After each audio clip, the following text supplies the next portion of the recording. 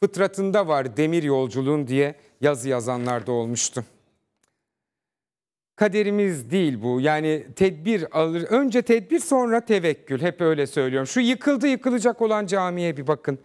Koruma altına alınması gerekiyor. Biricik örnek Dünya Kültür Mirası UNESCO Dünya Kültür Mirası listesinde bu cami. Kars sınır içinde Ani harabelerinin olduğu bölgede bin yıllık bir cami.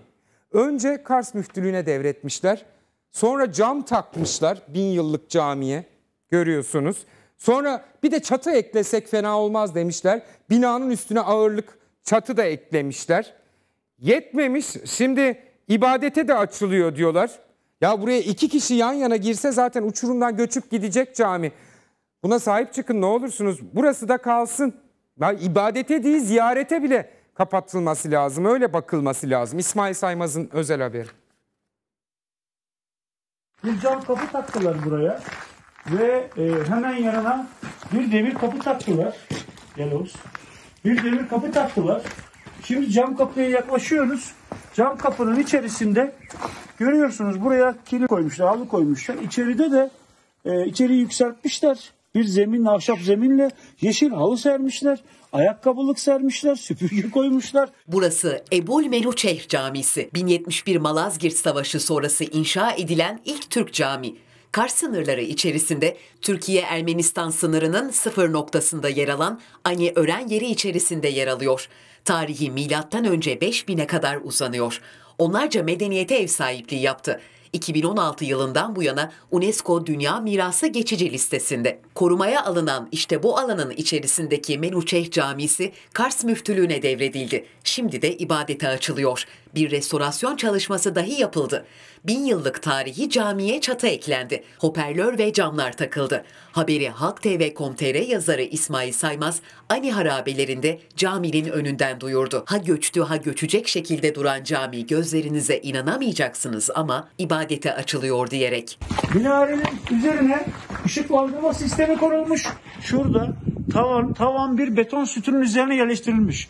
Ama o beton sütun anladığım kadarıyla yani bu çatının üzerine bir beton atılmış. Burada ilk ezan 3 Ağustos'ta okundu. Şimdilik namaz kılınmıyor ama saymaz kılınsa dahi kimsenin gelemeyeceği görüşünde. Yani hani bulunduğu yer bir ocak, ocaklı köyün içerisinde yer alıyor. Köyün zaten camisi var. Buraya kim gelecek namaz kılacak? Yani insanlar zaten niye turist gelsin burada namaz kılsın?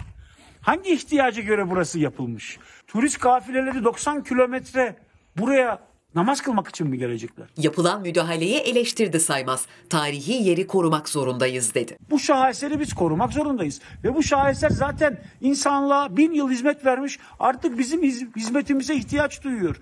Burada ibadet yapılamaz. Burada inşaat yapılamaz. Buraya siz kafanıza göre ayakkabılık koyamazsınız. Hoparlör ya bu, bu hoparlör ve ışıklandırma yapamazsınız buraya. Yandı İsmail Saymaz yandı. Şimdi caminin ibadete açılmasından rahatsız mı oldun diye yazacaklardır muhtemelen. Rahatsız olduğu şeyi oysaki çok net ortaya koyuyor. Artık camiye bizim hizmet etmemiz lazım. Bin yıldır o hizmet etmiş inananlara. Şimdi bizim ona bakmamız lazım. İki kişi yan yana gelse etkilenebilecek bir eser. Onu da çok net olay yerinde anlattı zaten. Çevresel etki değerlendirme raporu diyorlar. Adı ÇED. Hani bir proje yapılacak, maden ocağıydı, taş ocağıydı, işte HES'ti. Çevreyi nasıl etkiler değerlendirilsin, uzmanlardan görüş alınsın diye. Türkiye'de geçtiğimiz yıl 10 bini aşkın proje için ÇED başvurusunda bulunulmuş. Etki değerlendirilsin başvurusu. Peki kaç proje için çevreye zarar verebilir karar verilmiş? 10 bin başvurunun içinde Yalnızca iki tanesine olumsuz rapor vermişler. Yani chat falan artık yalnızca prosedür. Ee, gerçek olan, asıl olan son yılların zirveye varmış talanı. Bu ülkenin dağlarını, ormanlarını, derelerini yağmalamak isteyenler için Chat sadece bir prosedür aşmaları gereken. 3421 projeye gerekli değil kararı verilirken yalnızca iki proje için olumsuz kararı verildi. Doğayı, ormanları korumadaki en önemli prosedür olan çevresel etki değerlendirmesinden bahsediyoruz. ÇED artık doğayı korumuyor. Buna kalkınma diyemeyiz biz çünkü bunun dışındakiler sadece paradır, bu da rant planıdır. Sonucu nedir? Yağmadır, sonucu da yıkımdır. Ha, şimdi chat de bunun için vardır. Bakanlığa yapılan çevre etki değerlendirme başvurularının 10.093 başvurusu sadece iki tanesinin olumsuz olduğunu biliyor muydunuz? Sadece iki. Ve 78 tane chat gerekli değildir kararı verilmiş. 2021 yılında 10.092 proje için Çevre, Şehircilik ve İklim Bakanlığı'na başvuru yapıldı. 3421 proje için ÇED'i gereksiz gördü, değerlendirmeye bile almadı. 382 projeye ÇED olumlu, 78 projeye ise ÇED gerekli kararı aldı. 2021'de yalnızca iki kez olumsuz karar çıktı. Bu yıkımların da bir, bir şey vardır, genel bir yöntem oluşmuştur. Bunlar bir sorun kavramı içinde bir takım isimlerle lanse edilir. İşte felaket, kaza, facia gibi. 6000 küsür tane olumsuz, olumlu chat raporu. 61 tane sadece olumsuz chat raporu ama gereksiz chat'in dahi chat'in konuşulmasının dahi gereksiz görüldüyse 65 bin tane 2021'de en çok başvuru maden projeleri için yapıldı. 4488 başvuru. 1525'ine çet gerekli değildir kararı verildi. Olumsuz yanıt verilen mi? Sadece iki proje. Maden projeleri yapılabilir ancak bir yaprağı incitmemek kaydıyla yapılabilir o projeler. chatler rasyonelliğini yitirmiştir. işlevini yitir, hatta yitirmiştir demeyelim. Yeni bir işlev kazanmıştır. Sermayenin elinde bir argüman olmuştur. Aylar önce Tema Vakfı'nın ortaya koyduğu çarpıcı gerçekte bunu destekler nitelikte. Türkiye'deki 15 şehrin %62'si maden için ruhsatlandırıldı. Ruhsatlı alanların çoğu ormanlık alanlardan oluşuyor. Chat gereksiz dediklerimizin yüzde neredeyse 50'ye yakını maden sektöründedir. Bu bir yağmadır. Çünkü yoksullaşmış, üretim damarları tıkanmış e, tüm toplumlar tarih boyunca maden rezervlerine, yeraltı rezervlerine saldırmıştır. Yaşanan budur. Temaya göre de ruhsatlar faaliyete geçerse oluşacak tahribatın geri dönüşü mümkün değil. Bu ülkeyi, vatan toprağını 3-5 müteahhite, ranta, talana teslim etmekten başka çevre politikası olmayanların suyu ısındı. Bu talan düzenine son vereceğiz. Hah, bakıyorum mesajlarınıza umutluyum. Geleceğe dair umutlarımı koruyorum hala. Umut gidince elde başka bir şey kalmıyor ki. Zira.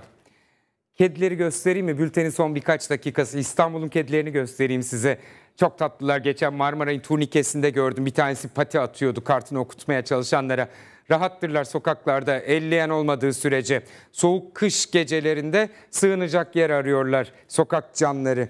Başına buyruk, özgür İstanbul'un kedileri. Yapılan haberler, çekilen belgeseller onları dünyaya tanıtıyor. İstanbullular şehrin sokaklarını yaklaşık olarak 125 bin kediyle paylaşıyor. Ee, İstanbul Büyükşehir Belediye Başkanı İmamoğlu, İstanbullularla kediler arasında duygusal bir bağ vardır diyor soran dünyalılara.